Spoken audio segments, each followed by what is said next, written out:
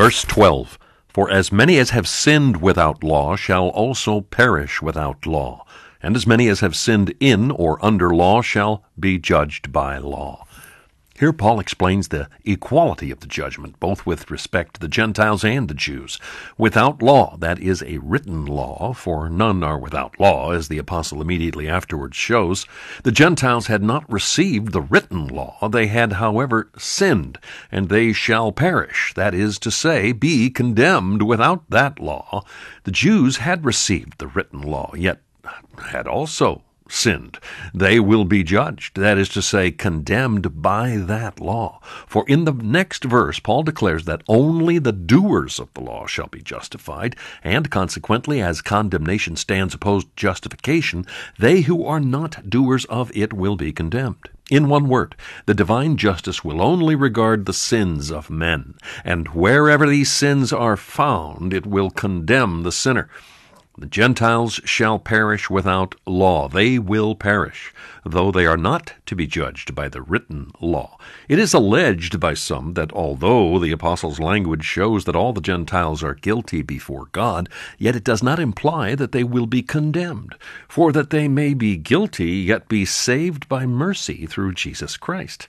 But the language of the apostle entirely precludes the possibility of such a supposition.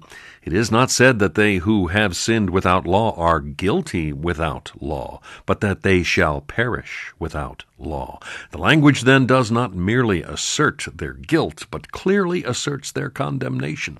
They shall perish. No criticism can make this expression consistent with the salvation of the Gentiles who know not God. They will be condemned by the work of the law written in their hearts. Many are inclined to think that the condemnation of the heathen is peculiarly hard, but it is equally just and not more severe than the punishment of those who have sinned against revelation. They will not be judged by the light which they had not, nor punished so severely as they who resisted that light. Verse 13 For not the hearers of the law are just before God, but the doers of the law shall be justified. This verse, with the two following, forms a parenthesis between the twelfth and sixteenth, explanatory of the two propositions contained in the twelfth. Some also include the eleventh and twelfth in the parentheses. If this mode of punctuation were adopted, the thirteenth, fourteenth, and fifteenth verses would be a parenthesis with in a parenthesis, but for this there is no occasion, as the eleventh and twelfth verses cannot connect with the tenth, and also with the sixteenth, for not the hearers of the law, against what the apostle had just said, Concerning the equality of the judgment, two objections might be urged, the one in favor of the Gentiles, the other in favor of the Jews. The first is that since God has not given his law to the Gentiles, there can be no place for their condemnation. For how can they be condemned as transgressors if they have not received a law?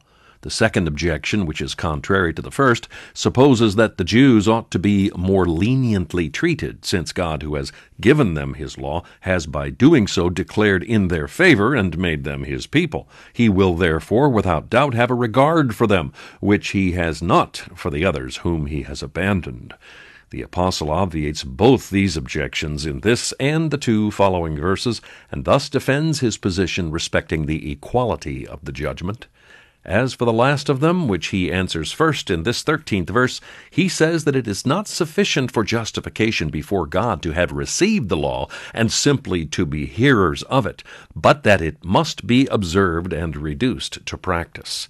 This is an incontestable truth, for the law has not been given as a matter of curiosity or contemplation as a philosophical science, but to be obeyed. And the greatest outrage against the law and the legislator is to hear it and not to take heed to practice it.